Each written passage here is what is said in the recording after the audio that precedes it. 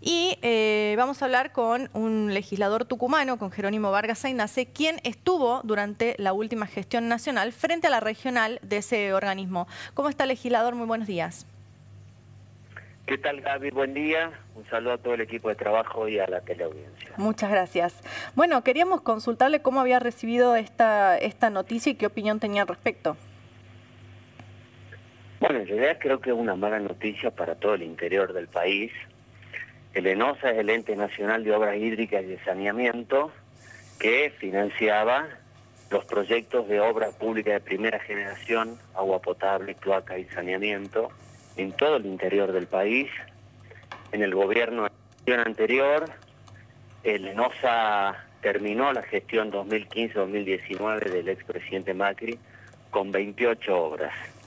Bueno, en, este, en estos cuatro años últimos terminamos la gestión con 1.200 obras finalizadas y con 400 en trámite, que obviamente se, se cortaron a partir de la decisión del actual presidente de eliminar la obra pública y naturalmente mucho más ahora con la decisión de eliminar el organismo. Hmm. Esto sin duda alguna va a tener consecuencias muy negativas para el interior. Es bueno que la gente sepa que las obras de saneamiento, de agua potable, en primer lugar, son el primer paso para, para ganarle a la pobreza. Una zona no tiene agua potable, tiene un déficit sanitario de saneamiento, las posibilidades de de tener enfermedades como el cólera, como la fiebre amarilla, eh, la falta de calidad de vida como la hepatitis, aparece de manera inexorable. Mm. Importante eh, el ENOSA como herramienta para llevar dignidad, calidad de vida. Vos bien sabéis y la gente sabe que el agua potable es un derecho humano.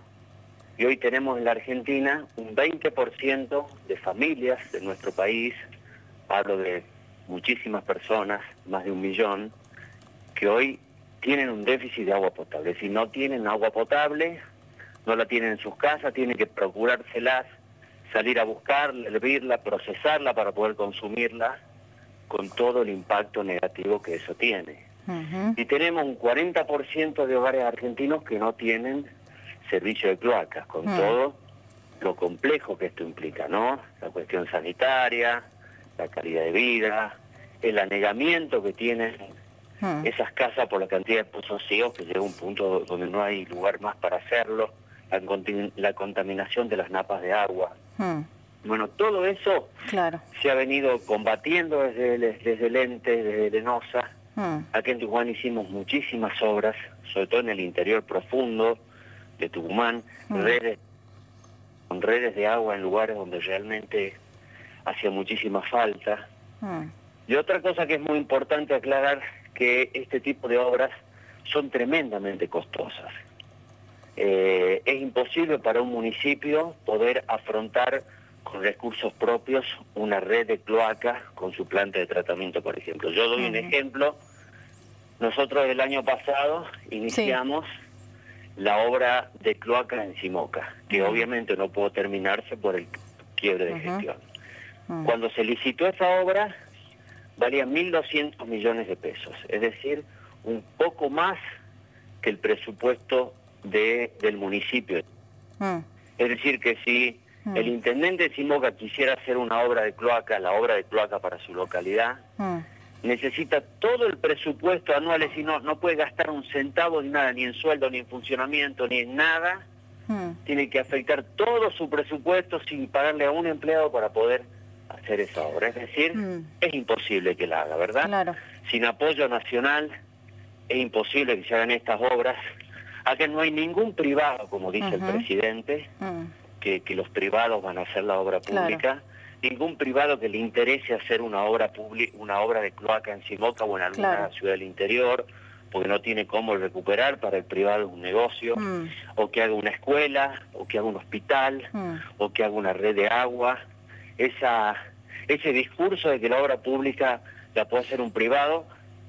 En temas saneamiento, agua potable, cloacas, acueductos, plantas potabilizadoras, plantas depuradoras, que es lo que hemos venido haciendo, es imposible que lo haga. Así que esta es una noticia muy mala para el interior. Por eso eh, Caputo, Sturzenegger, y bueno, son ministros, funcionarios que viven en la ciudad autónoma de Buenos Aires, en Cava, donde todo el mundo tiene agua, donde todo el mundo tiene cloacas, donde estos problemas no existen, donde esta realidad del déficit, de la falta de, agua que tiene el interior profundo de nuestro país, mm. no les afecta, no lo conocen, entonces mm. les da lo mismo, les da mm. lo mismo si alguien tiene agua o no tiene, es un número más, es un dato estadístico más, en nombre del déficit cero nos llevamos puesta la dignidad de los argentinos, los argentinos, lo más preciado que es la dignidad de los y seguimos destruyendo todo nuestro país. Bueno, eso, eso es lo que estamos viendo con el cierre de Lenosa, eh, realmente un, daño enorme y truncada la posibilidad de seguir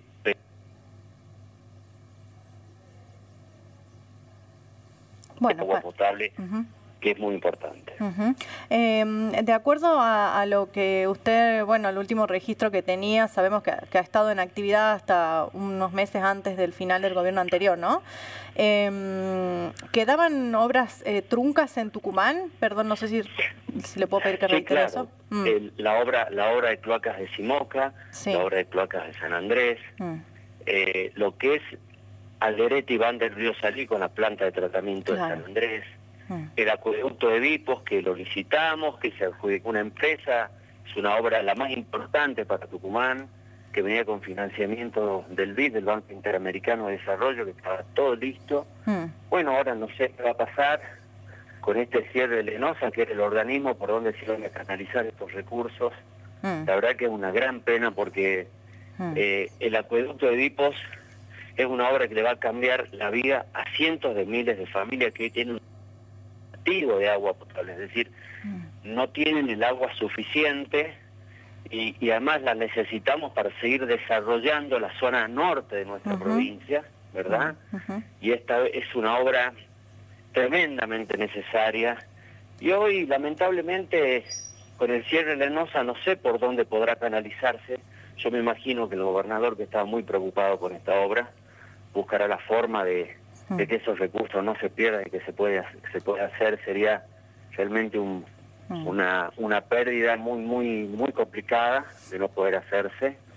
Pero bueno, esto, este es el problema cuando tenemos una mirada totalmente centralista, totalmente porteña de la política, eh, con, un, con gente que no entiende que el Estado no es que no tiene que funcionar, el Estado tiene que ser eficiente, ¿no? Tiene que haber un Estado eficiente, que gaste lo justo, lo que corresponde, que no gaste de más, sino que brinde servicio y se ocupe de las cosas más importantes de las personas y que permite igualar, darle a aquellos que tienen muchas menos posibilidades o que, eh, o que viven en lugares muy alejados, que no tienen la capacidad económica, darle la oportunidad de vivir dignamente en igualdad a los que más tienen. Y eso solamente puede hacer el Estado. Mm.